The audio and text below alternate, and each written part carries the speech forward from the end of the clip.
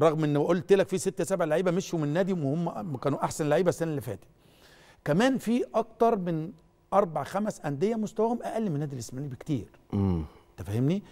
مع إذا ربنا سهل وقدرت يبقى فيه ترفع الإيقاف وتقدر تسجل لعيبة يبقى حاجة جميلة بس شكلها قدروا. بس شكلها صعب. صعب إلا إذا لو هتبيع حد. آه دي نقطة تانية. لو هتبيع حد وتفك القيد مفيش مشكلة. أنا بقولها أهو مفيش مشكلة. تعمل كده. أنا أعمل أنا عندي أنا عندك في اتنين النهارده في النادي الإسماعيلي هم اللي يقدروا يجيبوا فلوس للنادي الإسماعيلي. آه.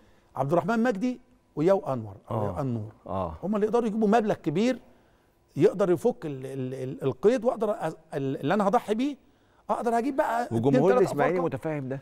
لازم يبقوا فاهمين كده ولازم نبقى صرحة مع نفسنا ومعاهم اصل يجي يقول لك إيه انت بتبيع لي نجوم الفريق وانت بتفضلي هو الفريق و... طب ما أنا النهارده مش قادر مش مش قادر ايد لعيب وأنا آه. محتاج دعم في في كل الخطوط آه أنا محتاج دعم في كل الخطوط من. م. أول حارس المرمى لخط الظهر نص الملعب للفراودة يبقى أنا مضحي بلعيب مهم آه. سي مثلا يعني أنت هتاخد رايي أم قلت لك هم النجمين اللي اللي يتباعوا دلوقتي عبد الرحمن مجدي و- يا وأنور. وأنور. اللي هم اللي يفرقوا ويجيبوا سعر كبير للنادي صح أنا لو هتاخد رأيي أنا أقول لعبد الرحمن آه، مجدي ادى كتير للنادي وكان الفترة اللي فاتت هو ال- ال- ال- ال- اللي عامل فرق ومع ال- الناس اللي مشيت وهو نجم النادي. فيقدر يجيب لك مبلغ كبير تقدر تفك فيه بيه الأزمة دي كلها. أنا لو لو عبد الرحمن جاله مبلغ أقدر أفك بيه القيد آه، آه، مفيش مشكلة خالص. أنا عبد الرحمن مجدي كتر خير خلاص لعب في النادي وفادي النادي هو كمان عايز استفيد صحيح. وفي نفس الوقت أنا هفيد.